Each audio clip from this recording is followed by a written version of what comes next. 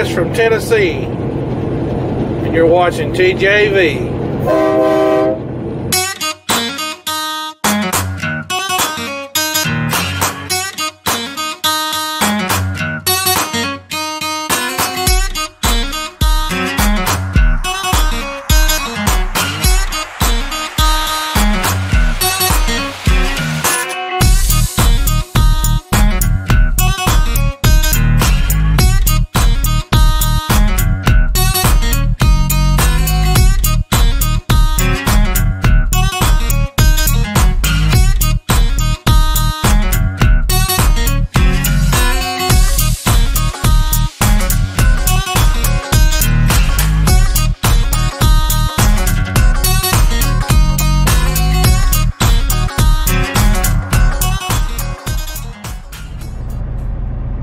The sun's up again. And I've got an empty step deck behind me. I'm gonna put some, some wood on it. High quality wood. And then I'm gonna put a tarp over it and we're gonna bring it down to uh, Brainerd, Minnesota. So I slept right at the customer last night. They have a nice little uh, area here where uh, they make that possible for us. Very thankful. It's very nice because uh, it's nice to start your day right here because that means we can get as far as possible today. The plan for today get this load to Brainerd, get it unloaded. They unload there till 10 p.m., so we shouldn't have a problem. We'll get there, we'll get it unloaded, roll our tarps up, clean our trailer up. And then I gotta head to Thief River Falls. And I think I have a trailer swap to do there. It's gotta be confirmed yet. Uh, but uh, I do believe we're swapping trailers there and headed back to the, the yard, which would get us back. It's Wednesday morning today. That'll get us back maybe tonight. If everything goes perfect and we don't hit another snowstorm,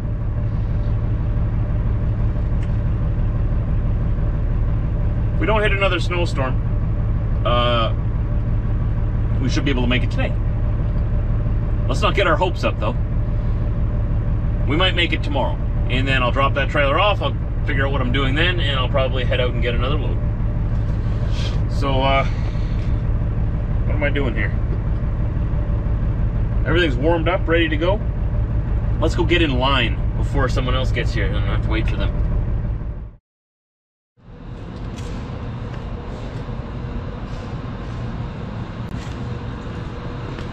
Getting these tarps thrown on here.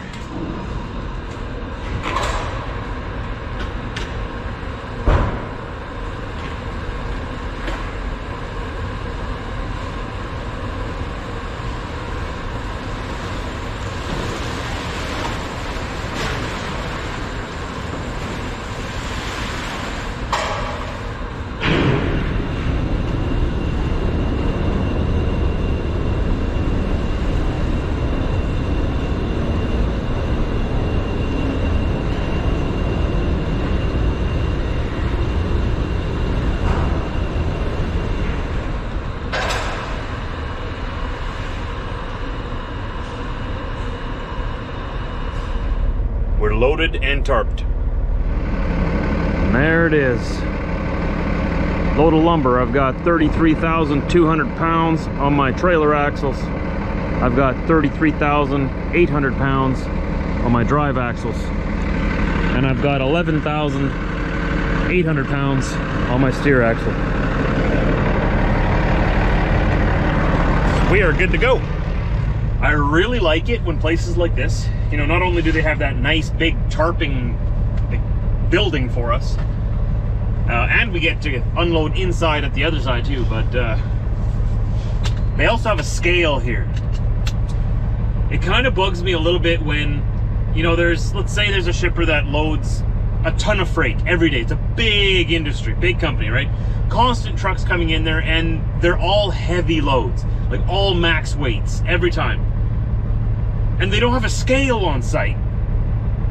Doesn't happen too often, but every now and then, you're like, okay, so you're putting like 46,000 pounds on me. I gotta make sure I'm legal to leave the yard and go on the public roads. How am I gonna do that if you don't have a scale? Right?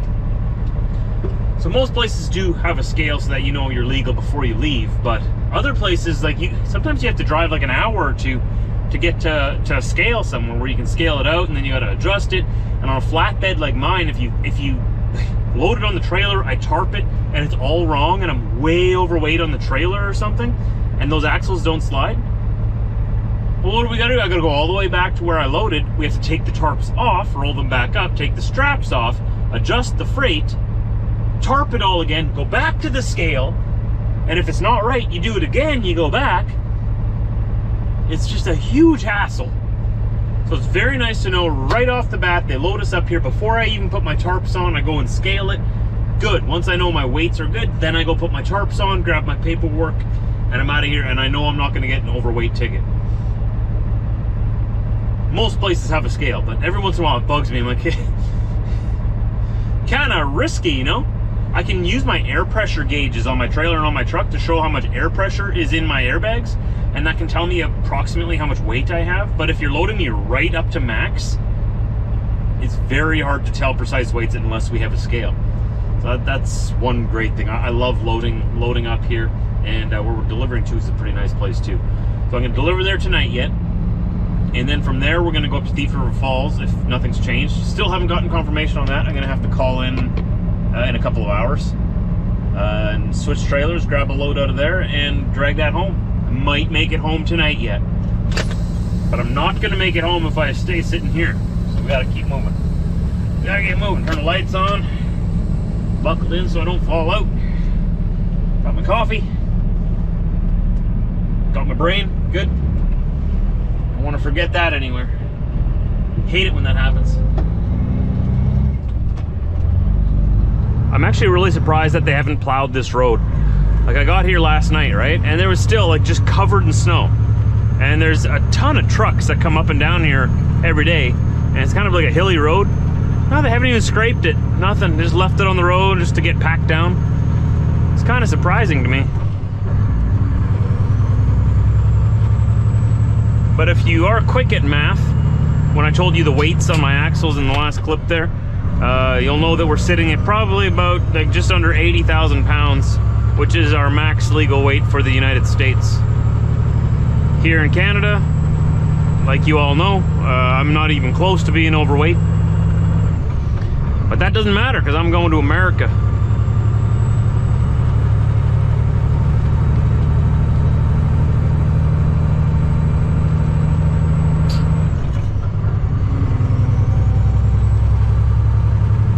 If everything works just right, it should take me about 10 and a half hours of driving to get down to Brainerd and get back up to the Emerson, Manitoba border. 10 and a half hours, and once I cross back into Canada, I get a little bit of extra time, right? Because our hours of service are a little different, then I can get home. But, uh, you know, I'm not gonna hold my breath. You've seen how this fall season and this autumn season has been treating me so far. We'll see how far it'll let me get today.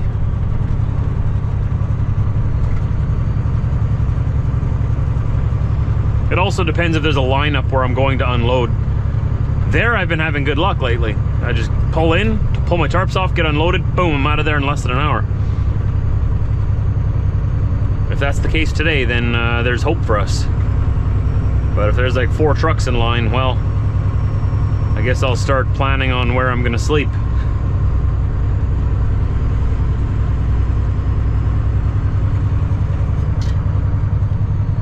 Now this up here is this crazy corner.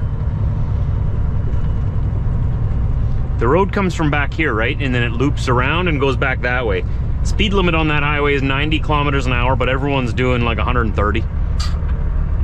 I'm exaggerating a little bit, but people go fast down this road. The average speed is probably like 105 at least. That's an Ontario thing. Speed limits are a suggestion to uh, a lot of cars in Ontario. But that being said, what I mean by what I'm saying here is that I can't see them coming from there, and I can't see them coming from there. So really, you just gotta wait here for a while. I don't see anyone coming. Slowly make your move, turn on your four ways. Check your mirror, see if there's anybody whipping around the corner there.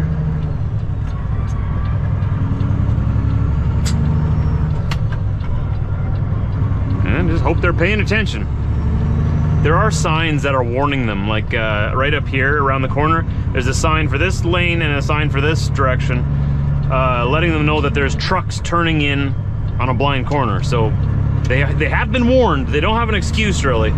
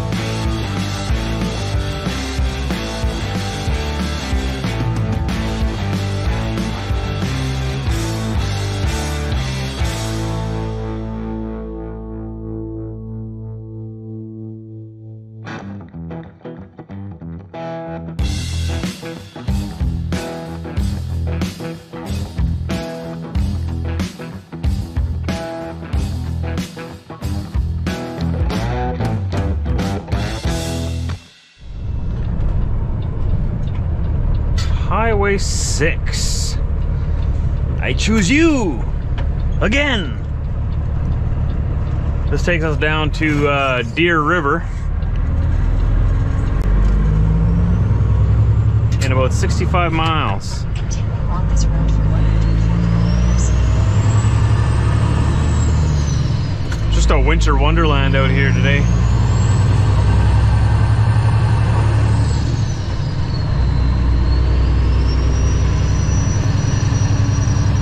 See, this is the part of winter that I say I'm totally okay with.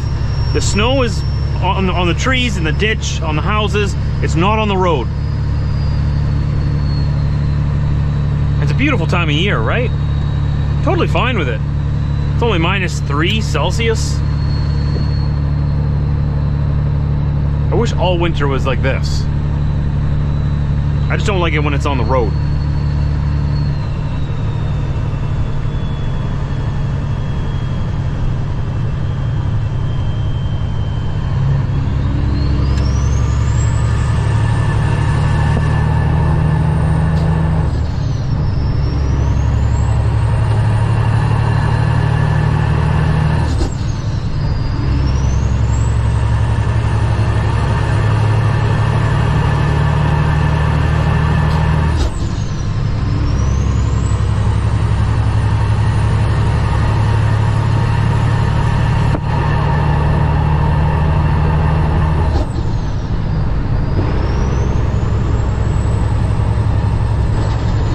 Good winter day to go trucking. Well, good autumn day. I keep calling it winter. It's it's still fall. It's still autumn right now.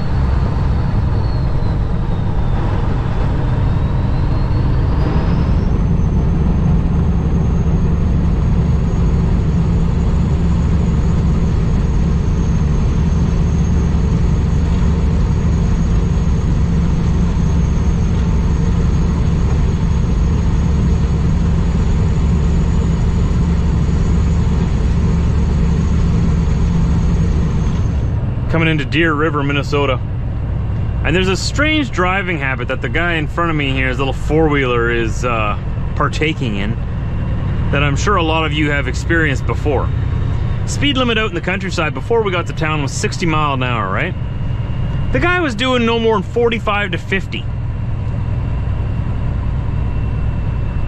And now, Kilometer, turn left on. Karen, I'm telling a story. US 2. See, he's slowed down now. But when we first got in town, so he doesn't want to go the speed limit on the highway for whatever reason. The roads are good.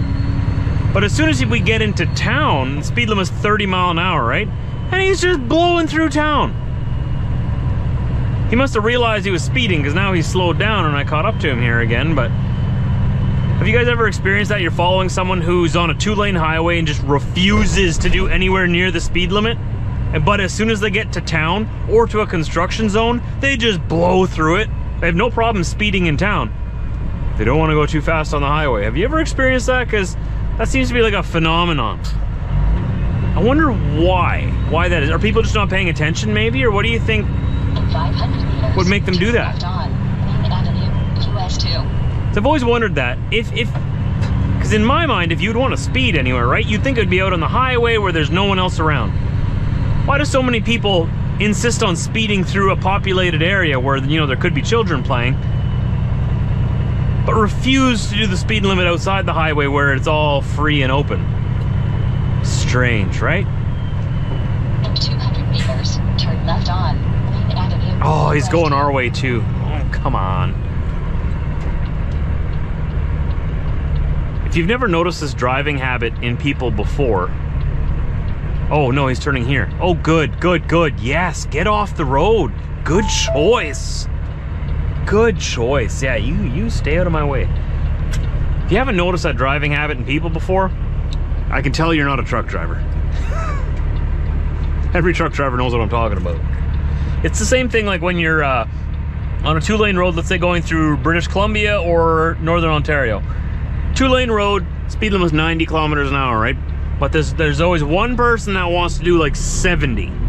Way below the speed limit, right? Really frustrating, but you're being super patient. You're waiting for a passing lane to come up, right? And as soon as the passing lane arrives, suddenly they can do 130 and they just take off and you're like all right well i'm glad you decided to speed up right no no as soon as the passing lane's over they slow right back down to 70 in a 90 zone and this isn't something that happens like every now and then like oh look there's another one. No this happens every single day. It's so strange. So strange. Because i guess since i'm a I, drive for a living i'm always aware of what my vehicle's doing what my speed is.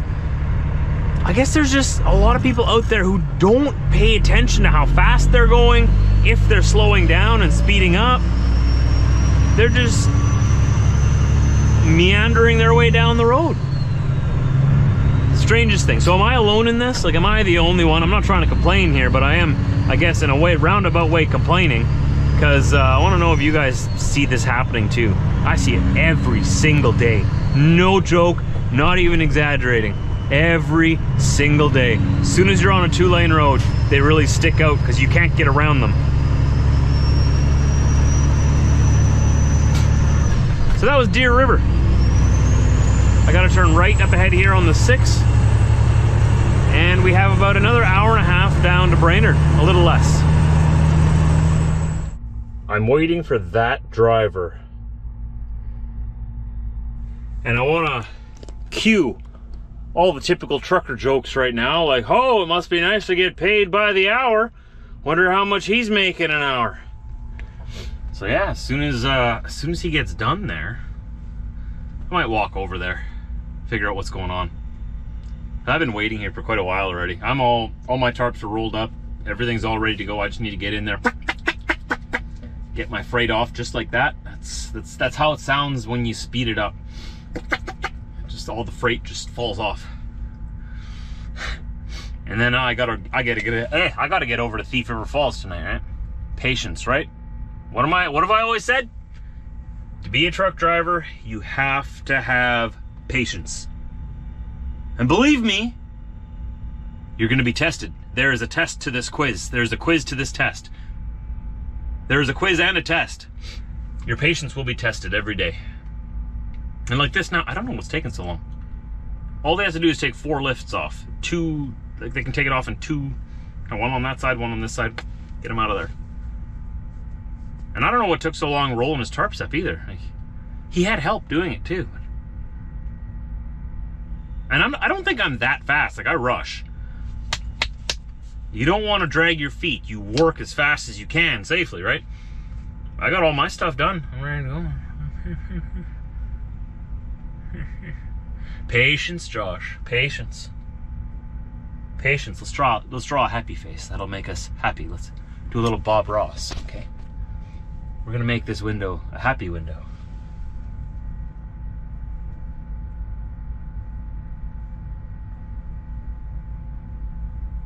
Yes.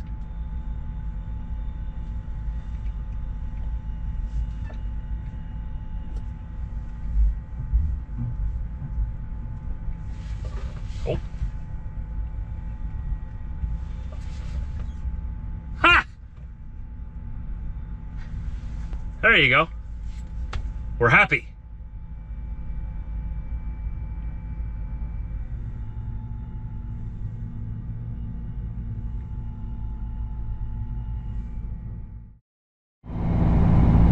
Well, they got me unloaded. They took their sweet time. That's okay. Sometimes they're quick, sometimes they're busy. We should have no problem getting to Thief River Falls, getting our new trailer. It's sitting there already preloaded, waiting for us. Trailer 126D.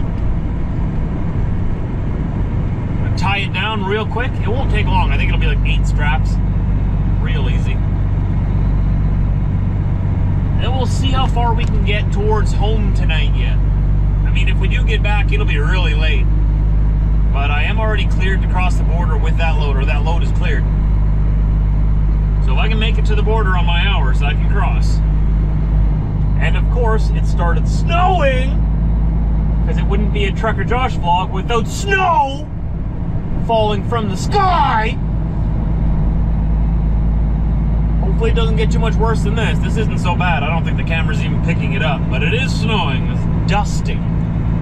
In 600 meters, turn left on Washington Street, and then 210. It's spitting on us, so to speak. The heavens are spitting on us. They're laughing at us.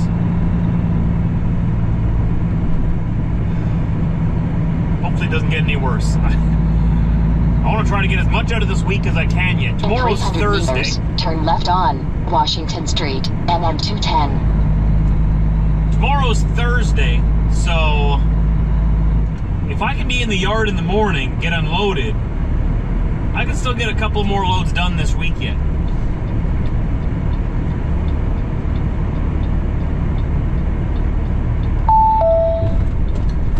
Always pushing ourselves to the max.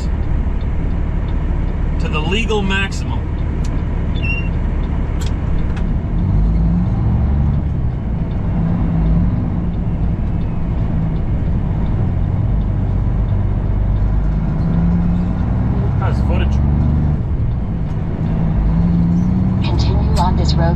5 kilometers.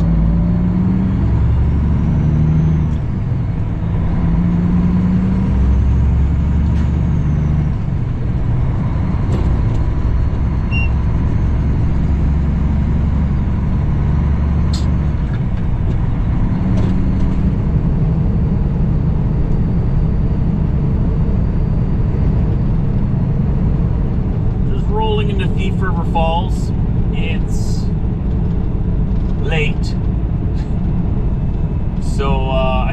Go park at their truck stop and sleep here and then go get my trailer in the morning. I'm able to get into the yard at night, but uh, it doesn't really matter if I pick it up tonight or in the morning. So I'm gonna get a good rest. I'm a little tired to tie it down and everything. You know, you don't want to do that when you're too tired, then you might miss something. Been driving for almost 600 miles already. So, uh, I'm gonna try to navigate my way around this roundabout.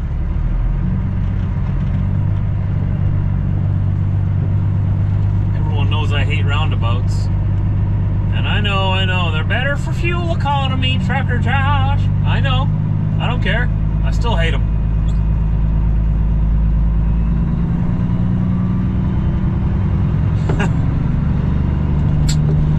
so I'm gonna go park for night and we'll just go pick up the load in the it down in the morning.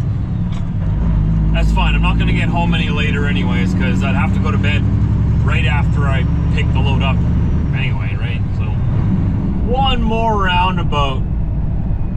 Just because. Thanks, Thief River. These are new. They uh, they built these in the last couple of years. It used to just be a regular stop sign here, you know, like a normal intersection. Now we got this thing. Look at this. Gotta go turn all the way this way and turn all the way this way. Wear out my steer tires. Drag my trailer over that little bump. Wear out my my other tires.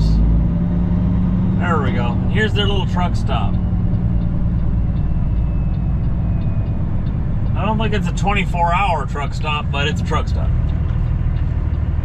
This is where I will lay my head down. This is home tonight. Well, sort of. Home is where the family is, and the family's not here, so not quite home, but it's the closest thing I got tonight. Oh, found a spot here in the back of uh, neighbor right over there. Seems pretty quiet here. I am tired. Very, very tired. Ugh, man.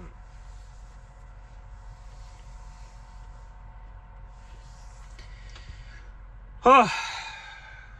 So first thing in the morning, I'll wake up, I'll run across town, switch the trailers like I was just telling you. Oh yeah, I forgot to drink my V8. trying to get my vegetables in. And then we'll head home. By the time I get home tomorrow, there probably won't be anything for me to leave with tomorrow. Well, I might be able to go in a general direction, but I'm thinking I'll be able to go home for the day, maybe like for supper, for the evening, afternoon. Maybe he'll send me to Kenora again. I don't know. We'll see what they decide. that would work kind of nice, especially if they had another backhaul like this. I'd probably get home on Saturday then, though. Hmm. It all depends. We'll see what they got for me. For now, I'm going straight to bed. I'm not even editing my video, nothing. No energy for that tonight. We can worry about that tomorrow morning. Have a good one, everybody. Thanks for tagging along with me today. Thanks for tagging along with me always and all my videos. Those of you who've been with me for years and years, I appreciate it. I appreciate you and all of you new people as well that are brand new. If you're brand new, welcome here. Don't forget to hit that subscribe button. If you guys hit the like button, it helps me a lot. Leave me a comment down below of anything you want. Helps a lot with the algorithms just to push the video out to more people. We are having a little bit of a surge of growth right now in the last month, and that's very exciting. That's very good. Uh, let's keep the ball rolling on that and i need your help to do that so please share my videos uh, share out the link send people back here and tell them to subscribe and we'll uh, keep this ball rolling i am so tired tomorrow i'll see you tomorrow then tomorrow I don't know if you can see this or not. Some of you ask about this. Sometimes my, my belt is like the. I undo my belt for while I'm driving because it's very uncomfortable to have it belted up. Belted up? Done up? Bolted? Done. It's just my belt.